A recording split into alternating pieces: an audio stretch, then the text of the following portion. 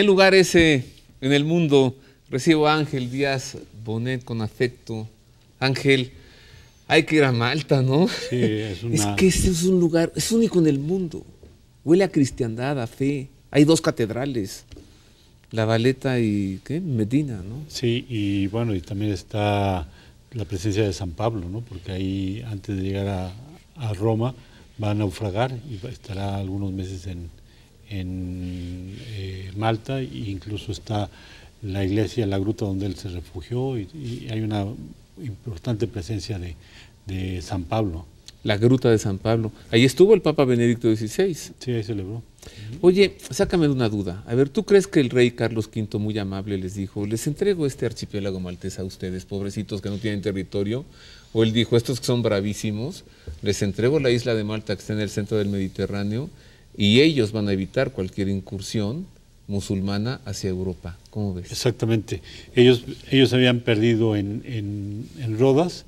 En ese momento eh, empieza a consolidar eh, Sulaimán el, su poder en el Mediterráneo, porque eh, después de que le había costado to- tanto trabajo a Carlos V el conquistar Túnez, lo van a perder.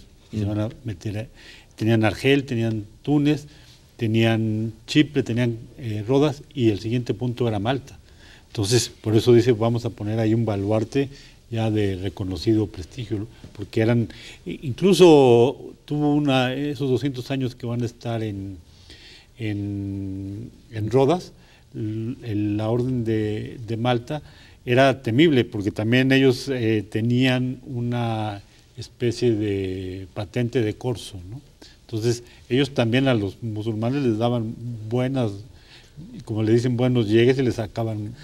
Entonces, Pues ya decía la nota que los musulmanes les llamaban los escorpiones negros del Mediterráneo, ¿no? A los caballeros. Sí. Y luego las posesiones de los templarios pasan a ser de los hospitalarios, pues eran muy poderosos. Sí, tenían un- una red de prioratos en toda la parte, en España, Alemania, Francia, Inglaterra.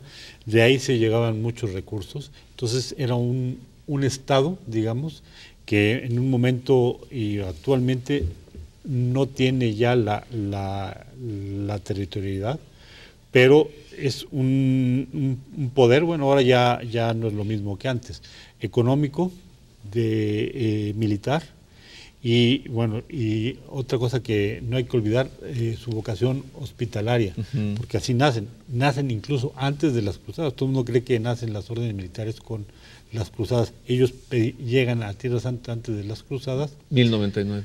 Mi- sí, ellos llegan un poco antes, junto con otra orden de la de San Lázaro o de San Lázaro, y ellos van a, a atender a los leprosos. Porque todo se ve las gestas heroicas, pero la gesta heroica de atender leprosos es también, ¿no?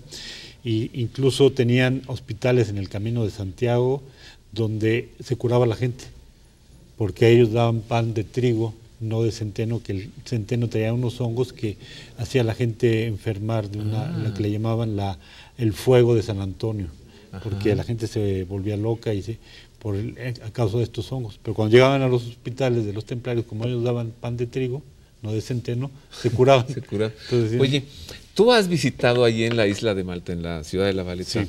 la Sacra Enfermería. Sí, es un... Qué cosa enorme. Y me parece que lograron un gran avance en cuestiones científicas de salud y por lo que sé, acudían a la isla de Malta gente con recursos, incluso a, a- a- a ser intervenidos quirúrgicamente allí por los caballeros. ¿Tú sabes eso? Sí, porque, bueno- Tú lo has visto ahí en Malta, ¿no? Es, es- es, eh, el, el estar en campaña, en guerra, pues te da unas dotes de, de ser temerario. Los, los doctores que tenían de la, de la orden, pues mutilados, eh, con, como decimos, pestes, con leprosos, pues ellos se la eh, rifaban ahí con todas estas eh, vicisitudes, ¿no? Entonces eso los, los hizo ser investigadores y la, la más alta eh, eh, calidad en la medicina, ¿no? Junto con Guadalupe también en España y eh, eh, Padua, o sea, había centros médicos de la antigüedad y uno de ellos era Malta. Ahora, obligado, después de estar en la isla de Malta, bueno, a ver, antes pasar por Rodas, ¿no? Y después de Malta, ir a Roma para ver la sede actual, porque Napoleón les quitó el territorio, pero están en Roma. Sí. En Vía Condotti. Tienen Vía Condotti y luego tienen otra en el Monte Aventino, que es donde se llega a ver eh, la cúpula de San Pedro por el, hoyo de la cerradura. Y bueno, también la que está en el mercado de Trajano, en, la, en la ciudad antigua de Roma. O sea, hay varias presencias todavía ondeando las banderas de del Hospital San Juan de, eh, de, Jerusalén, porque era el nombre del hospital que estaba junto al Santo Sepulcro, dedicado a San Juan Bautista. Por eso la catedral de, de Malta pues está dedicada a San Juan, Bautista. Santo patrono de la orden. Voy a hacer una pausa, es breve. Regreso con más. Mire, eh, le voy a presentar la catedral, la que acaba de decir Ángel, la catedral de San Juan Bautista en La Valeta, en la isla de Malta y también le voy a hablar sobre la presencia de la orden en nuestros días. Si bien los templarios fueron disueltos, no así los hospitalarios. Es una orden soberana y se confirmó su soberanía y están extendidos por todo el mundo. Y tienen en Europa, en vez de Cruz Roja, es Malteser. Y las ambulancias tienen la Cruz de Malta.